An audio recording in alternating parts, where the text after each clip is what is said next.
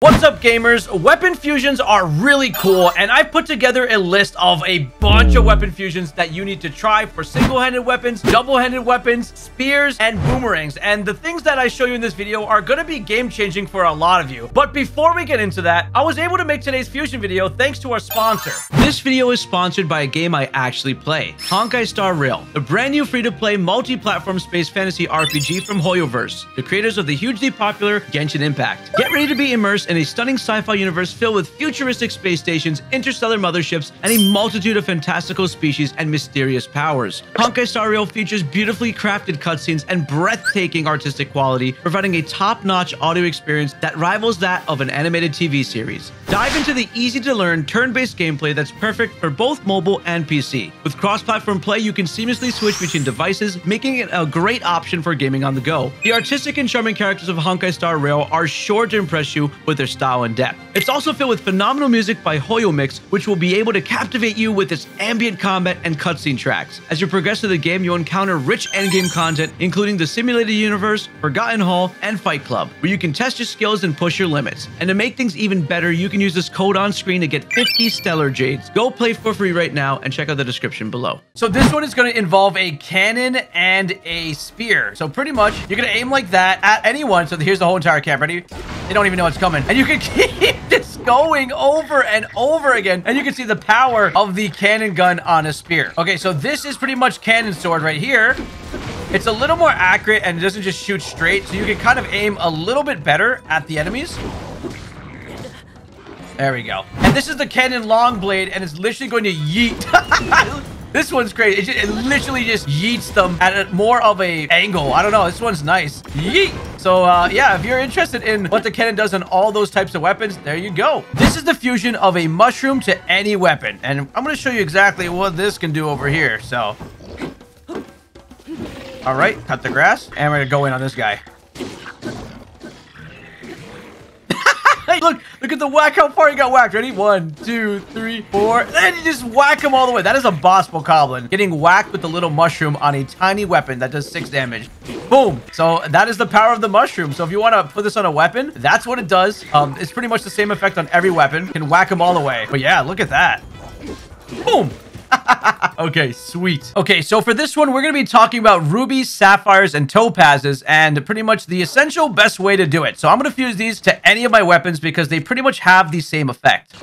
Sapphire to that one. Okay, so going pretty much here, a ruby is going to be very good for just chucking fireballs at enemies and creating updrafts, especially in these kind of fields. So I could just move to change my position, and I could actually get ready for my next weapon that we're actually going to be using, which is going to be my sapphire stick. So check this out. Ready? We, we just fused a whole group of enemies here, and they're going to be frozen for a bit. Now, while those enemies are frozen, I'm going to go ahead and switch over to my Topaz Spear. Now, Topaz Spears are going to be pretty broken here. Um, It's going to shoot out electric currents at enemies, pretty much disarming them. And you can see already as we go into this side, look how powerful that Sapphire is. They're all done. And the best part about this is when enemies are frozen and you hit them, they just do massive damage. So I walk up to this guy. He's gone. All right, and look at our frozen guys. So make sure to fuse those, especially in camps. We're going to walk away, and I'm going to show you what opals do as well. So I attached an opal to a wand, and this is the power of opals in this game. Creating platforms for you so that you can go ahead and just cross things. So use water when you can, and pretty much I can... You have to wait for a little recharge on these weapons, but man, it can get you a lot of places, and it's very, very, very useful in these areas. So like... like when you do a jar jump, look at that. I have all these platforms, so keep in mind the power of an opal. Okay, this one's really fun. I'm luckily I don't have my depths fully explored, so this is gonna work out perfectly. This is a star fragment, and what I have in my hand is a magic wand. So what I'm pretty much gonna do, or magic rod, we're gonna pretty much link that to this, right? And yes, while it does look like a little nice torch, guess what else is this? Look at this. It actually leads me down with little light paths. this is insane. So I can follow these little light paths if I can't see, like, oh, what's going on here? Then I use that, and I can just go ahead and follow these light paths without worrying about anything else while I make my way over to a Lightroot. So this is pretty cool. So you can just, just do that. How nice is that? Look how bright. You don't even need bright blooms anymore when it comes to these things. All right, so this is going to be the Royal Guard Spear plus a beam emitter. Check this out. Look, look how far I am, by the way. And look at this boss's health.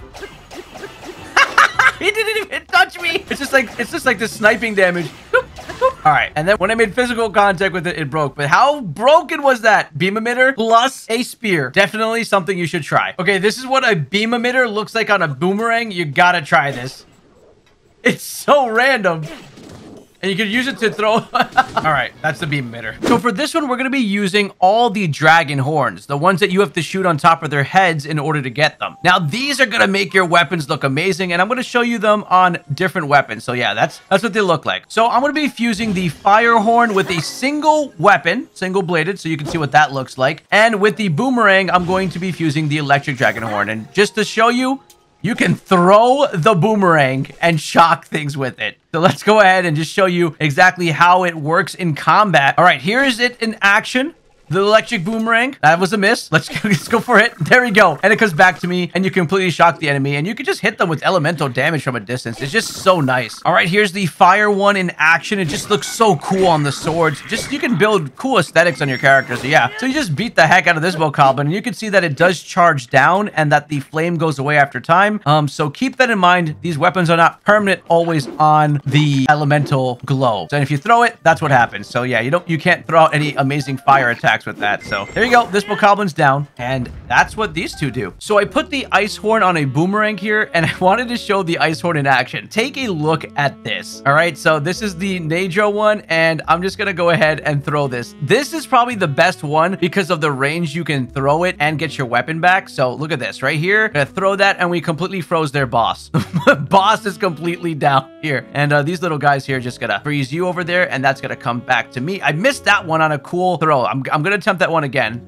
And that one tapped the other one to knock it out while coming back. And let's go to this boss here. And my hearts are down. So I'm going to switch over to the Light Dragon Spear. Now, Light Dragon Spears don't seem to really cool down like the other stuff. And I'm just going to just hit him to get my health back. And that's the really cool part about this. So just go ahead and dodge. If you do a flurry rush with this, it's probably going to be even faster to recover your health. So yeah, here's some big ones. And now that I backed away from the enemy, we're going to kind of show the utility of mixing up and matching elementals. So here we go. There's the ice boomerang. And we've just hit both of these guys, gotten it back. How cool is that? That is the coolest thing to do. And then, yep, let's recover some health too while we're at it and do extra damage because we hit an enemy that was frozen. So that's the horns. Okay, we're going to be using dragon shards for this one. So the fire one, the electric one, the ice one, and the light one. So I'm going to be throwing them down over here and fusing them to different weapons and different types of them so you can see exactly what we're going to do. So we're going to fuse one to the spear, fuse one to a single-handed weapon. We're going to fuse one to a double-handed weapon, and we're going to be fusing one to a boomerang. Okay, so I'm going to go ahead and start off with the boomerang and check this out.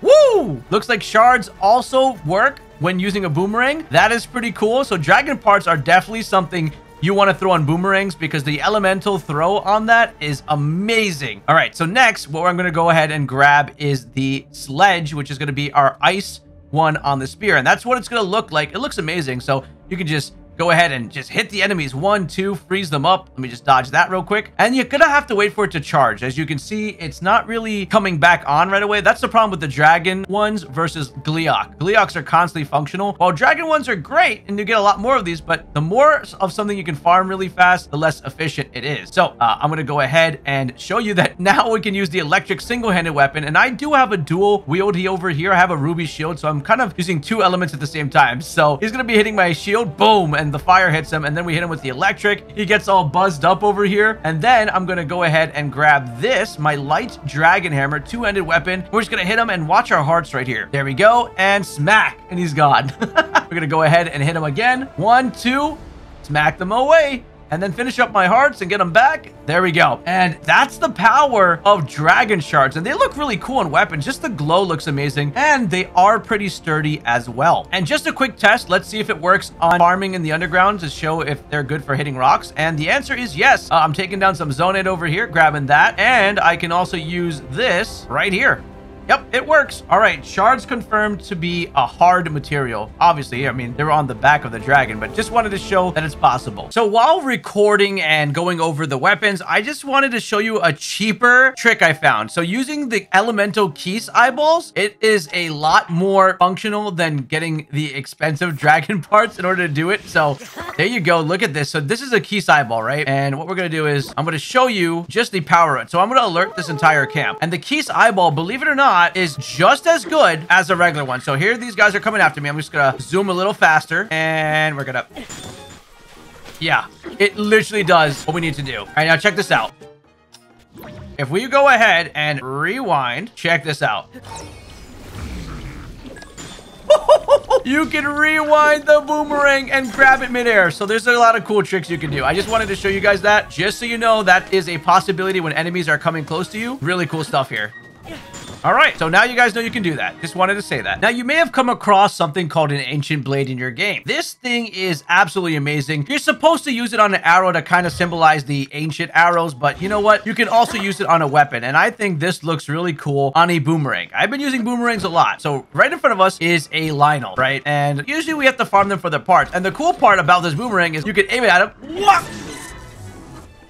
And he's gone. That looks really cool, actually, but it's kind of underwhelming. The only problem with using these exact items to fuse is that you don't get any drops. No drops. You just eliminate the enemy. So if something's in your way that you need to get to somewhere, go ahead and use that. It's pretty OP. So this is an electric Lysol spear. Basically, it's an electric monster part attached to a regular long stick. And you can see that when I have this out, this is what it does, and then it runs out of power. But if you attach something like a Gleeok Thunderhorn to a weapon, check it out. It literally never stops. Like, you could literally just keep going on with the charge. Everyone, it just, it doesn't end. You can unlimit, it just keeps, it just, yep, there you go. It just keeps working. That is the beauty of having a more powerful elemental weapon. So to do something like this, you're going to definitely want to farm some Gleeoks to get this.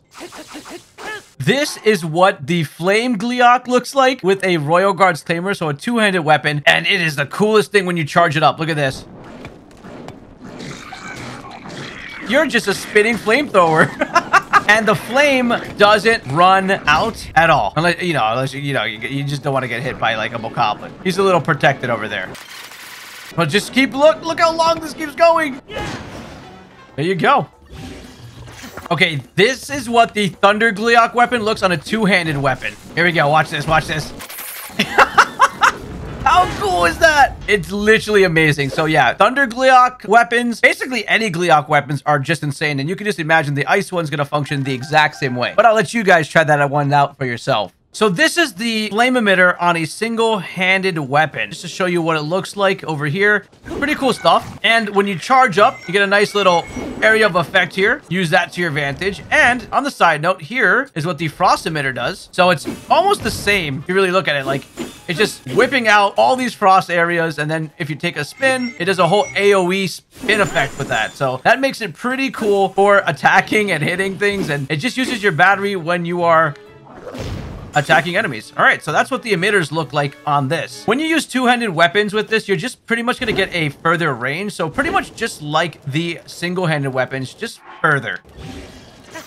And when you're using a spear, it's pretty much going to give you the straight line of hitting them versus something like you won't get really a spin there. So I guess that's the benefits of using a spear. So if you want a direct straight approach, use the spears in order to do that. And if you're curious what boomerangs look like with these devices, that is pretty much how it's going to work. And it's a much more higher AoE than most of the other stuff because it just it just blows out everything. So so I'm on top of the giant Great Deku tree here in the Korok Forest, and on top of it is a little Korok named Walton. Now Walton leads you to weapons known as Forest Dweller weapons. So here is the sword over here. I'm gonna grab.